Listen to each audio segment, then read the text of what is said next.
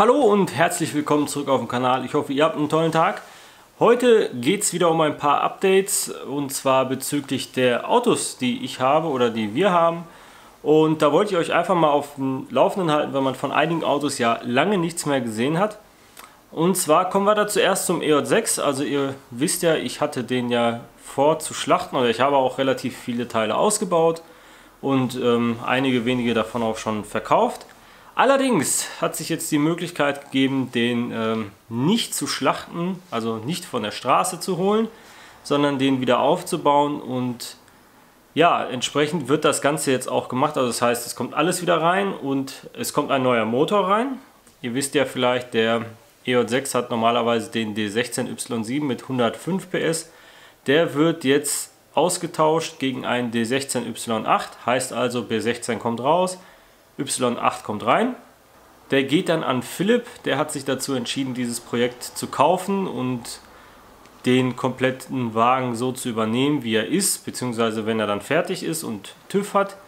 Äh, Grund dafür ist unter anderem, dass seiner wahrscheinlich keinen TÜV mehr bekommt, denn äh, der hat sehr, sehr große Rostlöcher und wir haben das gegengerechnet. Im Endeffekt ist es dann günstiger, den EJ6 fertig zu machen und entsprechend werden wir das auch tun. Übrigens, ein Garage 8 T-Shirt Prototyp ist das hier, ja. Aber es gibt noch keinen offiziellen Merch, sondern äh, wir haben einfach mal ein bisschen rumexperimentiert. Und das ist dabei rumgekommen und äh, falls ihr euch wundert, warum denn das Logo irgendwie so hier oben zu sehen ist. Dann wird es ein neues Auto geben ab sofort. Ich habe ein bisschen damit rumgespielt. Ich bin eigentlich relativ zufrieden damit. Ich weiß noch nicht, ob ich es ändern werde. Ähm, das wird sich dann erst zeigen, wenn ich das wirklich hinter dem Video sehe und auch im praktischen, in der praktischen Anwendung sehe und äh, sehen kann, wie das Ganze wirkt. Vielleicht wäre da eure Meinung auch sehr hilfreich. Also ich weiß, vielen hat das schon gefallen. Ja, dann gab es noch eine User-Frage und zwar die hier. Und zwar, wo ich meine Mugenlippe her habe und ob das Ganze TÜV hat. Die Mugenlippe habe ich gebraucht gekauft damals. Ich weiß aber dass es die bei AKR gibt, ähm, bei Fulka Tuning aktuell leider nicht. TÜV hat die nicht, das ist auch nicht verwunderlich, das ist eine PU-Lippe, das ist dieses Polyurethan, glaube ich, das ist dieses extrem biegsame Material. Es gibt ein Materialgutachten dazu, also nicht beim Kauf der Lippe, sondern im Netz gibt es PU-Gutachten durch, durchaus und dann könnte man das Ganze über eine 1,20er Eintragung eintragen. Allerdings, als ich mein Fahrwerk eintragen war, hat den TÜVer die Lippe absolut nicht interessiert. Das hat zwei Gründe. Zum einen, weil es dafür eh keine Papiere gibt und das weiß der gute Mann wahrscheinlich auch. Und zweitens, weil eine Original-Honda-Lippe ebenfalls keine Papiere hat. Und selbst die Original-Honda-Nummern sind da, wo man sie nicht sieht, wenn sie montiert ist. Heißt also, es macht keinen Unterschied. Ich wurde auch bislang noch nicht damit angehalten und selbst wenn, liegt das, äh, liegen die Fotos ja beim TÜV vor, dass das Ganze also dass die, das Fahrwerk samt Lippe abgenommen wurde. Ich denke mal, das sollte keine Probleme geben. Also wie gesagt, gibt es bei AKR kein TÜV. Müsst ihr also selber entscheiden. So ist es halt nun mal. Dann geht es weiter im Text mit dem Fiat Punto. Ihr wisst ja, das ist äh, unsere, ja, unser Dauerprojekt gewesen irgendwie und die Daily die letzten paar Monate. Das Auto steht momentan zum Verkauf, also wir haben uns dazu entschlossen, das Auto abzugeben. Im äh, Juli wäre TÜV fällig gewesen, das wäre nicht das Problem gewesen, das fertig zu machen, weil wirklich viel dran ist nicht und es hält sich auch im Rahmen. Also ich habe gesagt, mit wahrscheinlich 100 Euro plus TÜV wäre man wahrscheinlich äh, wieder zwei Jahre bedient. Allerdings haben wir uns dazu entschlossen, ein neueres Auto zu kaufen und zwar ein Honda Jazz, weil wir haben ja, ihr wisst ja, wir haben einen Mops und da haben wir gesagt, okay, das muss nicht sein, dass der Hund im Sommer ohne Klimaanlage im Auto mitfährt und äh, da bringen ja auch die Kurbelfenster irgendwie nichts, wenn heiße Luft von außen nach innen kommt. Übrigens gibt es da noch ein abschließendes Statement zu. Ich bin unertröstlich. Bitte zeigt die Auto. Und natürlich noch ein paar abschließende Bilder vom Auto. Bitteschön.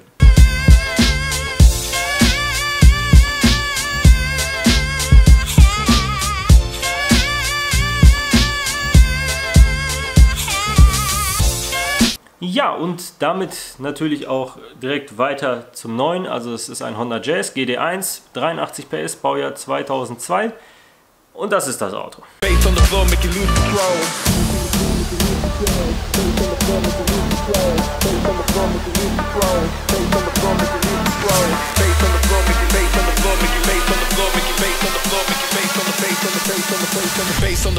lose control.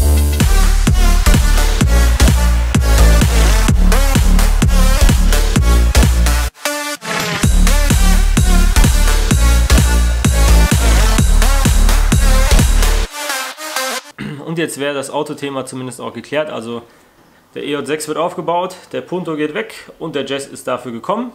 Heißt also, jetzt fährt meine bessere Hälfte auch endlich Honda. Yes! So, und da ist noch was gewesen. Und zwar gab es Post. Ja, das ist keine Fanpost, um Gottes Willen. Wie ihr seht, ich habe das Ganze auch schon mal aufgemacht, um zu gucken, ob da auch wirklich das drin ist, was ich bestellt, also was ich bestellt habe, was Basti mir vermittelt hat. Viele Grüße an dieser Stelle, ja, du alter Schlawiner. Wir sehen uns ja morgen. Das ist ein Paket aus England und da ist folgendes drin. Und zwar ganz viel Folie. Nein, natürlich nicht, also da ist nicht nur Folie drin. Ich habe es glaube ich schon mal erwähnt, ich wollte ein oder ich will ein neues Lenkrad haben für den EJ9 und das Ganze dann schön machen lassen, heißt also neu beledern lassen, vielleicht ein bisschen dicker, wobei ich weiß, bei dem Lenkrad, was ich gekauft habe, wird es nicht nötig sein. Vielleicht hier und da ein bisschen kleinere Akzente setzen. Wer weiß, wer weiß, ich weiß noch nicht, was ich genau mache, auf jeden Fall gibt es neues Leder dafür. Das ist es, ist ein EP2 Lenkrad. Warum ein EP2 Lenkrad? Das ist ganz einfach, die EK9 Lenkräder sind mir ganz einfach zu teuer. Und ähm, gleiches gilt für die S2000 Lenkräder. Es sind beide sehr, sehr schöne Alternativen. Allerdings, wenn ich jetzt hingehe und äh, zum Beispiel das Lenkrad abflachen möchte oder sowas, da wäre es mir viel zu schade, 300 Euro für schlechtes Lenkrad auszugeben im Falle vom EK9 Lenkrad oder knapp 200 Euro auszugeben für ein S2000 Lenkrad und das dann, ja, ich sag mal so, nicht zu verunstalten, aber so nach meinen Wünschen anzupassen. Äh, vielleicht gibt es irgendwann mal ein anderes, ich weiß es noch nicht. Also ich bin erstmal mit dem hier absolut zufrieden. Wie gesagt, da kommt neues Leder drauf, weil, ich weiß nicht, ob man das so gut erkennt. Ja, so ein bisschen. Äh, schön ist das nicht mehr so ganz. Ja, also da muss auf jeden Fall ein bisschen was dran getan werden. Allerdings war es sehr günstig. Also äh, Basti hat mir einen sehr guten Kurs klar machen können, sage ich mal. Und das Ganze hat jetzt mit Versand 75 Euro gekostet. Zum Vergleich, das ist das Lenkrad aus dem EJ6, dieses Alcantara-Lenkrad. Ihr wisst ja, das gleiche ist ungefähr im EJ9 drin und das ist das EP2-Lenkrad. Ich habe es mal gemessen, es sind knapp 3,5 cm Unterschied vom Durchmesser. Heißt also, es ist nicht unbedeutend kleiner.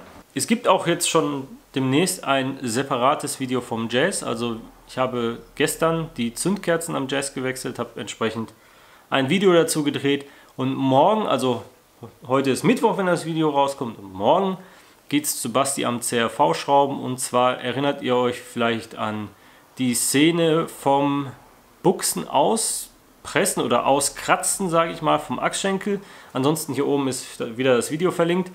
Und das werden wir morgen auch nochmal machen, allerdings bei einer eingebauten Achse bzw. bei eingebauten Achsschenkeln. Das wird sehr, sehr spannend. Ich werde euch auf jeden Fall mitnehmen ja, sodass ihr einfach auch seht, ob das Ganze nur im ausgebauten Zustand funktioniert oder auch im eingebauten Zustand. Und jetzt will ich gar nicht mehr viel quatschen. Ich würde sagen, das war es dann auch von meiner Seite. Ja. Also nur, dass ihr ein bisschen so up-to-date seid. Passiert immer mal wieder so ein bisschen was. Von daher, ich danke vielmals fürs Zuschauen und wünsche euch noch einen angenehmen Tag. Ja, lasst fleißig Support da. Däumchen, Däumchen, Däumchen. Ihr wisst Bescheid. Und dann würde ich sagen, bis zum nächsten Mal. Tschüss.